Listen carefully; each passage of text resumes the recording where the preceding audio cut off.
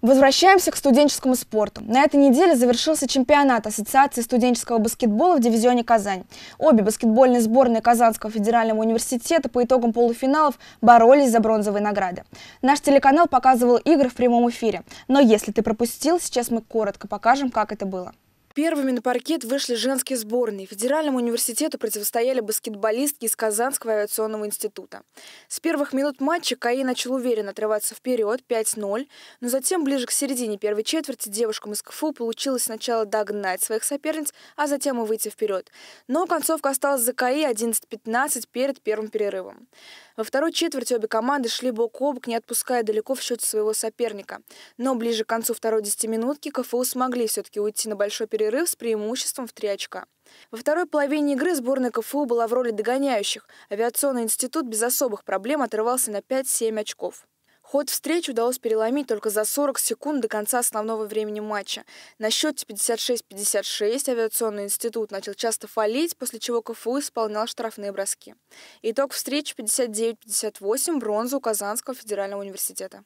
Во втором матче игрового дня мужская сборная КФУ в очередной раз за последние две недели встречались с Казанским технологическим колледжем. Первая половина игры прошла полностью под диктовку КФУ. Мячи залетали практически со всех позиций, тогда как у КТК не получалось реализовывать стопроцентные моменты. Первая четверть за КФУ 28-19, вторая 47-39. Во второй половине игры ситуация изменилась. У КФУ в атаке большой процент брака, а КТК наоборот забрасывали практически все и смогли перед последним отрезком сравнять счет. В четвертой четвертой четверти игра шла на равных. Судьба бронзовых наград решилась только на последних секундах. Итоговый счет 77-72. Казанский технологический колледж – бронзовый призер чемпионата. А теперь поговорим о чемпионате более подробно. К нам в студию пришел главный тренер женской команды КФУ по баскетболу Вадим Данилов. Вадим, здравствуйте. Я начну с первого вопроса. Насколько тяжелым оказался матч э, за бронзовые награды с авиационным институтом? Оказался крайне тяжелым. А, во-первых, мы до этого проиграли матч в полуфинале с, командой КТК. И, соответственно, наверное, немного перегорели из-за этого на матче с КАИ. Я рассчитывал, что мы сыграем гораздо лучше, чем мы сыграли на самом деле, и много сил оставили на эту игру. Чего не хватило в полуфинале в матче с КТК? Я думаю, нам не хватило сыгранности в первую очередь. Потому что многие девочки сейчас уже работают, э, им удается совсем немного посещать тренировки, поэтому нам вот, наверное, этого не хватило. А с какой из команд в сезоне было вообще труднее всего? Находиться, играть? Да я бы не сказал, что в сезоне прям игры какие-то были сложные.